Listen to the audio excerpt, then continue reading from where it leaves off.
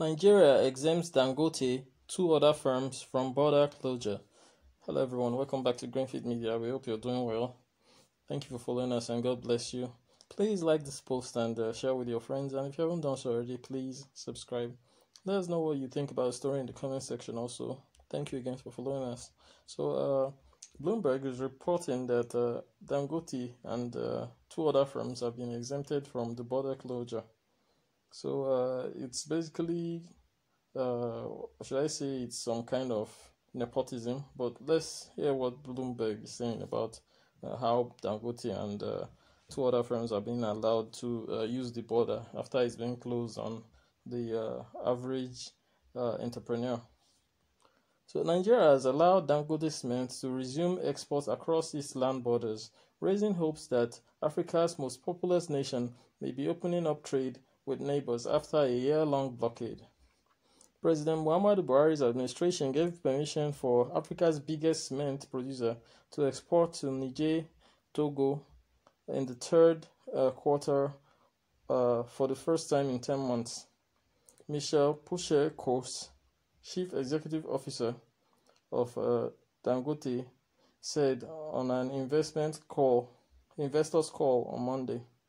The exemption of Dangote cement is seen as a softening of the government's position on a border closure that started in August last year and could open the way for other businesses to fully resume exports across the country's land borders.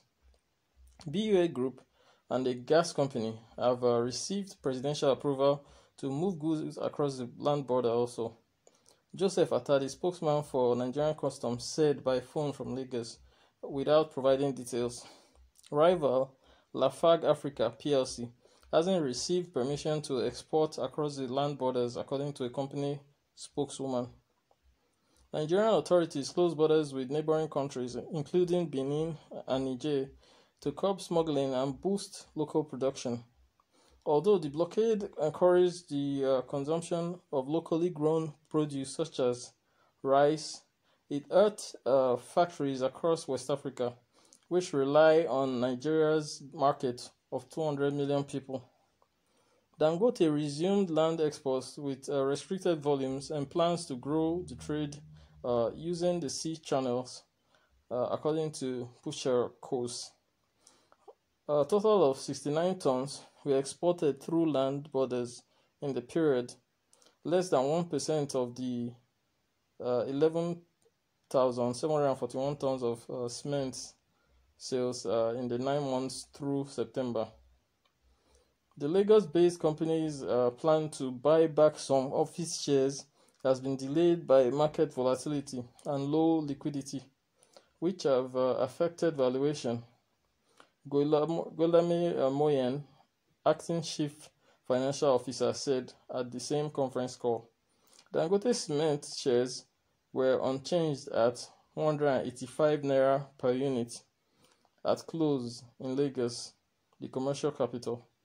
The stock uh, have gained uh, 30% this year compared to uh, 21.6% advance in the I mean by the uh, 153 member Nigerian Stock Exchange uh, main board index.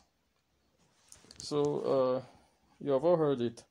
While the average Nigerian is trying to uh, put things together, maybe trying to struggle through the pandemic.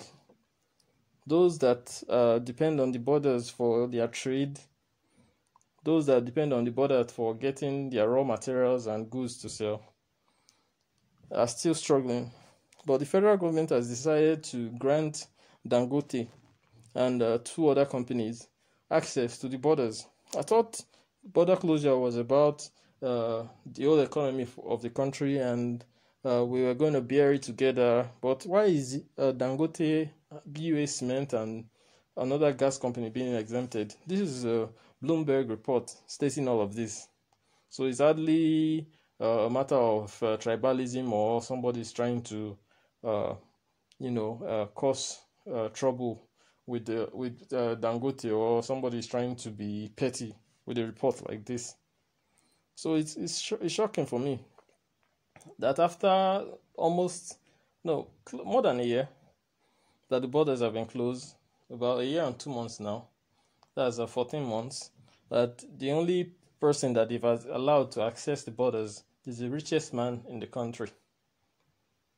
So uh, other Nigerians are second class citizens. Why Dangote and his uh, enterprise are first class citizen. So we should all be very wary of all of this because I, I, I didn't see any southern any southern company being allowed to do uh, business across the border. But of course, Mr. Dangote and his people got his way. Let us know what you think about this story. Do you think it's it's uh, tribalism at play? Do you think it's uh, nepotism? Do you think it's uh, giving uh, Dangote an unfair advantage over his competition? Hmm? That's what I think. Let us know what you think in the comment section, please. Thank you for following us again, and God bless you.